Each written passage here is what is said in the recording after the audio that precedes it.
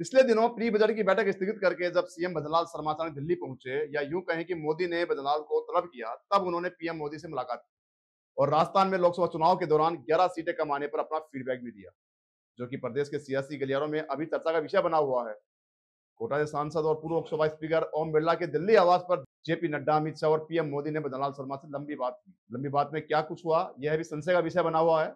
पूर्व नेता प्रतिपक्ष राजेंद्र राठौड़ ने भी अमित शाह से मुलाकात कर एक बार फिर सीएम भजनलाल शर्मा और प्रदेशाध्यक्ष सीपी जोशी को टेंशन देने का काम किया है।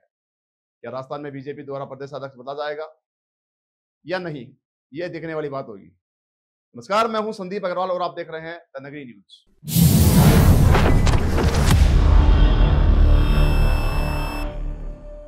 इन दिनों चर्चाएँ आम है कि प्रदेश की राजनीति में भूचाल आने वाला है। ऐसा इसलिए है क्योंकि प्रदेश में चुनाव के बाद विपक्ष में बैठी कांग्रेस जहाँ सरकार को डेढ़ साल में ही गिरना बता रही है तो वहीं पर प्रदेश का युवा भी बदनलाल सरकार से उखड़ा उखड़ा सा लग रहा है।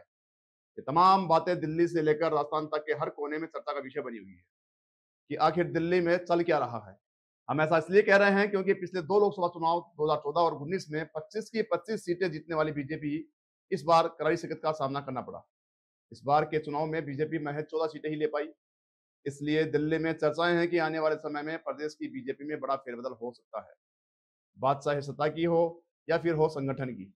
हालाँकि चर्चा ये भी है कि सीएम भजनलाल शर्मा जब पीएम मोदी से मिले तब उन्होंने प्रदेश में ग्यारह सीटें हारने के कारणों को बताते हुए अपने पिछले सात महीनों के कार्यकाल के बारे में बताया।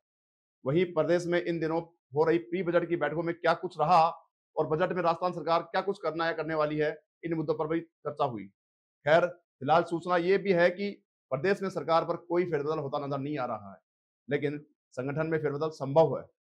प्रदेशाध्यक्ष सीपी जोशी को अपने पद से हाथ धोना पड़ सकता है। हम ऐसा इसलिए कह रहे हैं क्योंकि राजस्थान का राज्यपाल ब्राह्मण है सीएम ब्राह्मण, प्रदेशाध्यक्ष ब्राह्मण, और तो और ब्यूरोक्रेसी का मुखिया भी ब्राह्मण ही है। ऐसे में पार्टी को प्रदेश में थोड़ा सा सोशल इंजीनियरिंग के हिसाब से या ठीक नहीं लग रहा। इसलिए बहुत कम समय में ही प्रदेशाध्यक्ष को बदला जा सकता है। इन्हीं चर्चाओं के बीच जेपी नड्डा और अमित शाह ओम बिरला के घर पहुँचे। इसलिए आनंद फानंद में राजेंद्र राठौड़ को बुलाया गया। चर्चा ये भी है कि ओम बिरला या राजेंद्र राठौड़ में से किसी एक को राजस्थान का प्रदेशाध्यक्ष बनाया जा सकता है। चर्चाएँ ये भी हो रही हैं कि ओम बिरला इन दिनों राष्ट्रीय अध्यक्ष की लॉबिंग कर रहे हैं। बिरला का मानना है कि यदि उनको इस बार स्पीकर का पद नहीं मिलता है तो वे राष्ट्रीय अध्यक्ष के लिए अप्रोच करेंगे।